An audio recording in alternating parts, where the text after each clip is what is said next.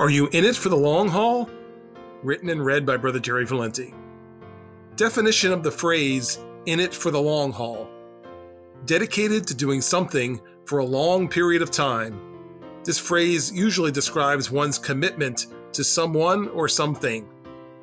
As Jesus speaks to an audience of people who are contemplating whether or not to become his disciples, he exhorts them to think ahead and make sure they are in it for the long haul. In other words, they should make sure they are prepared to see it through to the end. The primary example that Jesus uses is someone who is planning to build a building. He points out that the obvious thing to do first is to make sure you have enough money to purchase all of the materials that will be required to finish the job. For which of you, intending to build a tower, sitteth not down first and counteth the cost, whether he have sufficient to finish it? Luke 14 28. How embarrassing would it be to have a building half built and then not be able to finish it?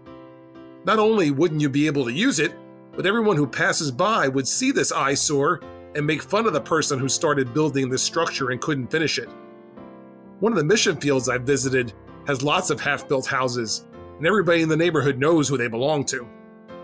When you were baptized, you were asked at the water's edge whether your intention was to be in it for the long haul. The question asked was Do you promise to serve God for the remainder of your life? Since you answered yes, it's safe to say that when you began your walk with Christ, you were determined to be in it for the long haul.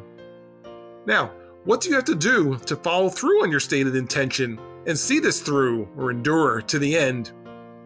Jesus answers this question as follows So, likewise, whosoever he be of you that forsaketh not all that he hath, he cannot be my disciple. Luke 14 33. When Jesus says we need to forsake all in order to be his disciple, what types of things is he referring to? What do we need to give up? Here are some things, there may be more. Sin in all forms actions, words, thoughts, attitudes, etc. Relationships with people who try to pull us away from serving the Lord activities that prevent us from doing what we should be doing as a servant of the Lord, such as church attendance, prayer, scripture study, etc. A portion, such as a tenth, of our income, such that we then trust God to provide us with the remainder. The right to make our own decisions rather than following God's direction in all things.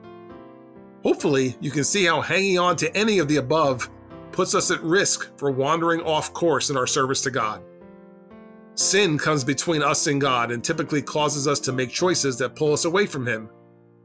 If we spend a lot of time with people who are trying to pull us away from serving the Lord, eventually they'll be successful in doing so.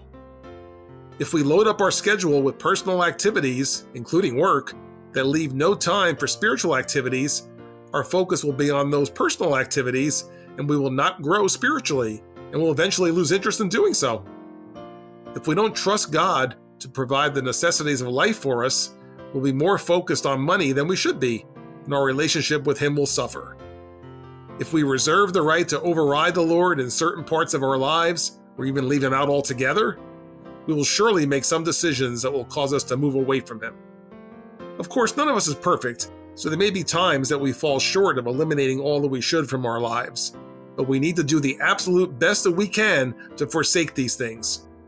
While it may not be automatic that they'll pull us away from the Lord, the risk is certainly increased. So, what is the cost of following Christ? It comes down to giving everything over to Him our time, our focus, our decisions, our money. Is it too much to ask for?